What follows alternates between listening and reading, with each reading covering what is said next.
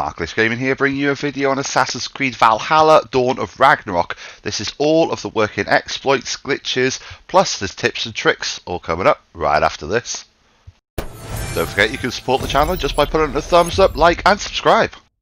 So this is the unlimited materials exploit. So first off, make your way to any blacksmith. It's very, very simple. And then all you have to do is press triangle to interact with him and start speaking to him. Go down, scroll down to C shop. And you see this enchant gear, enchanted gear, you go down to downgrade gear. And we're going to be working on the predator bow here. So I'm going to downgrade that predator bow. So let's just do so. There we go. So I've downgraded that. Now I want to exit, completely exit from him and then leave the conversation with him. And you'll see pop up on the right hand side iron ore leather titanium. That's exactly what we want. Now bring up your menu, go to your save, save the game manually. So let's just save that. Perfect. And then what we want to do is we want to load on that manual save that we just made upon coming back into the world. Yeah, once we're back into the world, we'll have that divine gear would have actually turned back into divine gear, which is absolutely amazing. So let's just speak to him again, just to show you that it is still there. So let's go down to C shop. Uh, let's go to downgrade gear. Let's scroll down, just using that predator bow. Have a look at that. Perfect. Look at that.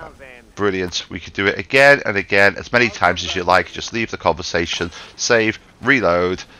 Perfect. Come back unlimited materials. A channel favourite, unlimited arrows is the next exploit we're going to show you. So you just get onto your ship, any ship, any location, works in Ireland, works in Ragnarok, works absolutely everywhere. So I've tried that, it's perfect. Works on River Raids 2, so you can do it. So just take your ship out and then you can fire arrows. At the start of this I had zero arrows in my inventory uh, because when you shoot the arrows on, the, on your boat it doesn't actually use your arrows which is perfect. So I'm just going to shoot a couple of arrows into the ground here and then tell my guys, go on, take us back in, Jomsvikings, take us back in. You should be able to see the arrows very visually on the floor as well once we're there. Once we come back in. So you should be able to see, yeah, there you are, you can see them all there, and I can pick up the arrows.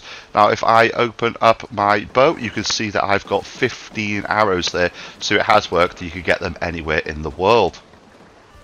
Next trick is unlock barred doors. Now this is very very simple. Just slash at the barred door and then you will be able to open it.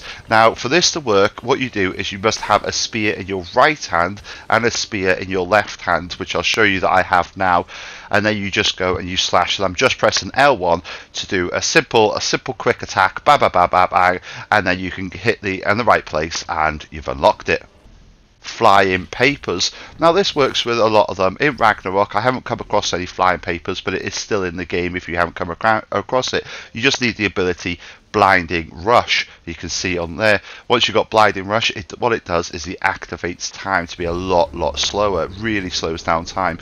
So you can see I've activated it now. I'm running all the way up to it. As soon as I jump on this tent the paper doesn't move and it stays still. These could be a pain in the ass to chase all around the map. So it's much much simpler to do for you newies out there stone walls. It could be a pain in the backside to go and find those little red vases with flame on them. So instead of doing that, we have a number of ways that we can get in behind the stone doors. So you've got this one ability that we've got that I'm showing you on the screen now. And all you have to do is get your arrow, activate that ability, and then shoot it. Shoulder bash also works with this as well. So you no longer have to look for those red barrels. Perfect re-roll shops. So this works on any shop, works in shops in Ragnarok as well, which I'm just going to show you now. All you do is you access um, any shopkeeper, you save the game beforehand. Now it's imperative you must have only just leveled up. Once you have leveled up, then you go to the shopkeeper, you save before you engage in a conversation with that shopkeeper. Very, very important steps. Now let's see his inventory. Once we scroll down, it will show us what runes he has. So what's he's got here? He's got the Great Rune of Protection, he's got another rune here, another one there, look at that, Fire Guard rune, and a Great Rune of Force. So now I'm going to exit um, from the conversation with him and then what I'm going to do is simply reload that previous save, that save that you made before you actually spoke to him. So once we've loaded that save up, we'll go and talk to him again. We'll see what he's got. So that save is loaded up. Let's go and have another conversation with this little dwarf.